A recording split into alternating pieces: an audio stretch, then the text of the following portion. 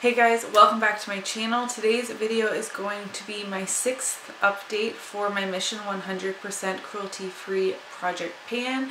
This project was created by my beautiful friend Sarah and you can find her linked down below of course.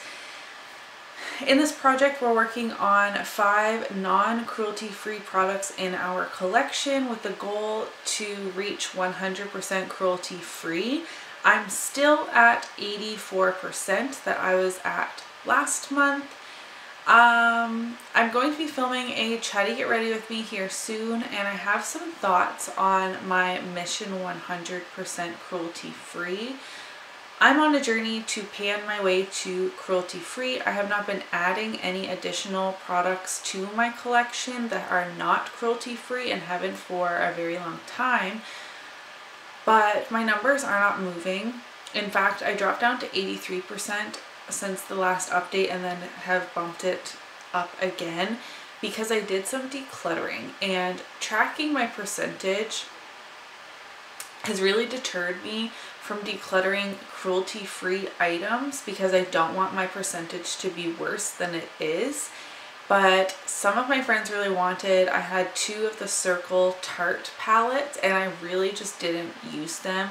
Um, they were really neutral, they weren't my favorite formula, but I was holding on to them because they were cruelty free and helped my percentage out, which is such a terrible mindset to be in. So I have some thoughts that I'm going to be talking to you guys about coming soon-ish. I don't know when that's going to go up. Um, but I have a couple of things I want to chat about so I thought a Get Ready With Me would be the best place to do that. My goal is still for my collection to be 100% cruelty free. Um, so yeah, I'm just going to keep on trucking with this progress project. I have some really exciting progress. Uh, once you meet your goal on five items, you're allowed to refresh the project. I've already done that one time. So I'm getting close to being able to do that again, which is exciting, but let me stop rambling and jump into the progress. First, this is my NARS Laguna. Um, with pressed powder products, my goal has been to hit pan on them, and then once all of my non-cruelty free pressed powder products have pan, I will circle back around to finish them off just to keep things moving a little bit more. I used this four times since the last update and I have pan. I'm working on three other bronzers. This was not like a fourth one. So as soon as I hit pan on this, I set it aside and started working on something else. So it's not too big, but I'm so excited to finally have pan in this bronzer. So this is rolling out today. I also cannot get any more out of my Dior Lip Maximizer Lip Gloss. Um, this was damaging my lips and everyone told me to just throw it out last update but I was too stubborn so I continued to use it until like I had to dip in three or four times to get enough product on my lips. I used this 11 more days. That is 11, yeah, 11 days. So I don't include reapplications in that until I literally cannot get anything else out of this. It looks like there's still a little bit left, but it's done. So this is a, a goal met as well the Rimmel Kate Moss lipstick in the shade 8. I only used one time since the last update, so I cannot make a new marking. I have a long way to go on this lipstick. I'm also working on the Rimmel lip liner in the shade East End Snob. I did use this six times since the last update and have made a tiny bit of progress, but again, I still have quite a long way to go on this one.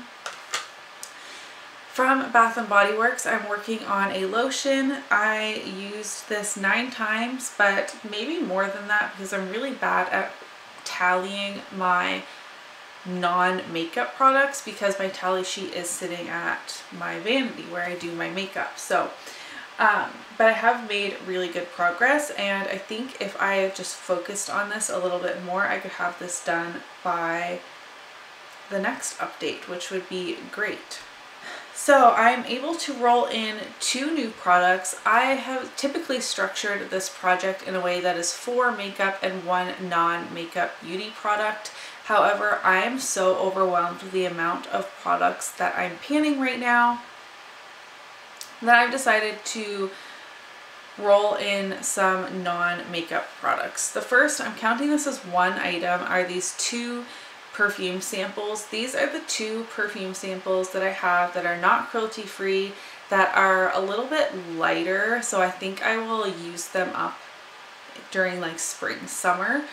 And they are Gucci Bamboo and Versace Bright Crystal. Gucci Bamboo has about half left and I don't know if I've ever used the Versace one so it's probably got however much it came with. Um, so maybe I should have, I already have perfume on or I'd spray it, but I don't want like too much since like I'm breastfeeding and stuff. I'm not going to spray it again. I hope both of these are still good, but this is going to count as one item and I want to finish those off. And then this SPF, I just threw it, is so old that a normal person would throw it away. but it's the only non-cruelty free SPF I have remaining in my collection I'm really itching to try some new ones this summer but I want to finish this one first. This is the Clarins UV50 um, SPF and I have it upside down because it's getting lower and it was too hard to get stuff out in the mornings. So I am down to here and my goal will be to finish this off hopefully by the next update. I've been really bad at applying SPF every day when I'm not going anywhere. If it's particularly sunny and I know we're going to be playing outside, I do apply it, but some days I'm forgetting. Like today it was rainy and even though it's rainy, even though I'm inside, I should be applying my SPF anyways. So hopefully it being in a project will motivate me to finish this off. So I'm rolling this in and those perfume samples in the place of the bronzer and the lip gloss. So that is it for this update for my Mission 100% Cruelty Free Project Pan. In terms of goals for next update, I think I could have the perfume samples and maybe even the lotion done. Um, we shall see the lip products. Mm, I still have a long way to go on those ones. If you did enjoy today's video, don't forget to give it a thumbs up so that I know, and I'll see you in my next one. Bye!